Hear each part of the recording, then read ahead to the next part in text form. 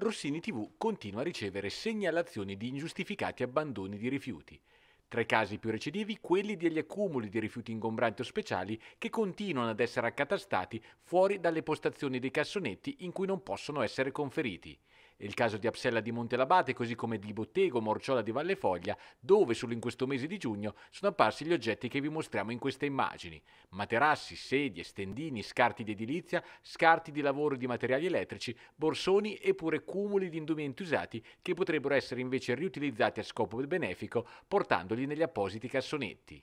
Ricordiamo che si tratta di un comportamento illecito e in particolare per i rifiuti ingombranti di tipo domiciliare, così come per sfalci e potature, Marche Multiservizi fornisce anche il servizio di ritiro gratuito a domicilio contattando semplicemente il numero verde 800 600 999.